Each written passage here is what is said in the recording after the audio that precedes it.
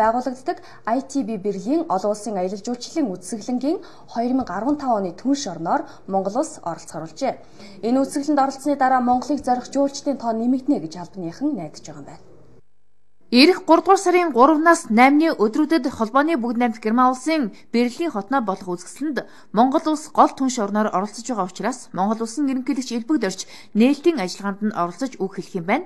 Энэхүү үзэсгэлэнд нийтдээ 190 орны 10 гаруй мянган аялал жуулчлалын байгууллагууд оролцох төдийгүй дэлхийн өнцөг булан бүрээс 170 мянган хүний төлөөлөл үзэж сонирхох юм байна. Монголын засгийн газрыг төлөөлж байгаль орчин ногоон хөгжил, аялал жуулчлалын яам болон нийслэлийн аялал жуулчлалын газар, хувийн хвшлийн 16 байгаа тур оператор компани 2 зочид буудал 50 гаруй аялал жуулчлалын компани бүхий 300 гаруй хүний төлөөлөл оролцохоор бэлтгэлээ хангасан гинэ. За энэ удаагийн арга хэмжээнд бид нар бол аялал жуулчлалын хөгжлийн талаарх форум, дэлхийн нийтийн чиг хандлагыг тодорхойлсон семинарууд, хэвлэлийн баг хурлууд, адал явдалт аялал жуулчлал, хурал цуглаан, бизнесийн аялал хэлцүүлгүүдийг улс орноо төлөөлж оролцож зохион байгуулна. Монгол бол язгуурын нүүдэлчин гэдэг ийм одоо арга хэмжээг зохион байгуулна.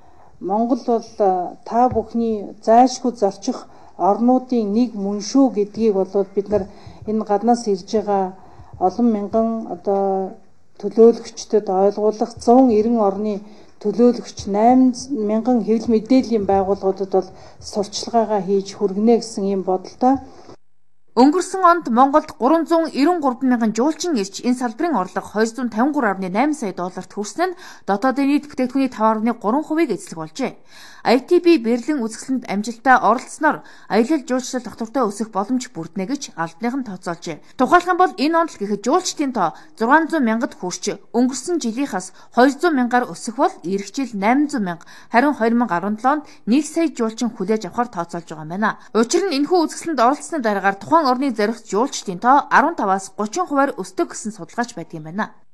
За нийтдээ манай урлагийн баг хамт олон болвол нийтдээ 40 гаруй тоглолтуудыг зохион байгуулна. За ажил хэрэгч уулзалтууд, панел дискашнууд, пресс конференцүүд гих мэтлэн одоо ажил хэрэгч уулзалт ярилцлагууд нь бол үндсэндээ 20 гаруй юм уулзалт ярилцлагууд бол болно.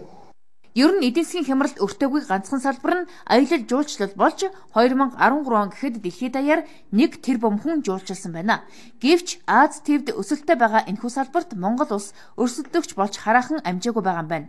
ITB Берлин үзэсгэлэнгийн 4 хоногт 6.5 тэрбум еврогийн гүйлгээ хийгддэг учраас дэлхийн аялал жуулчлалын тэргүүлэх арга хэмжээ гэж тооцогддог байна.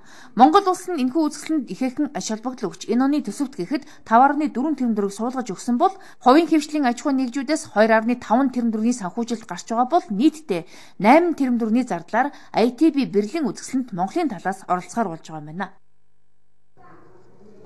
Гүйцэтгэх засаглалын тэргүүн төсвийн зардлыг танах ажлын хүрээнд яам агентлаг төрийн өмчит байгууллагуудын албан хэрэгцээнд шатхуун их зарцуулдаг том оврын жип автомашин хэрэглэхийг зогсоож хот дотор 100 км-т 16 литрээс ихэхгүй шатхуун зарцуулдаг суудлын автомашин ашиглахыг төрийн өмчийн хорооны даргад үүрэг болгосон. За өчигдрөөс зарим байгууллагын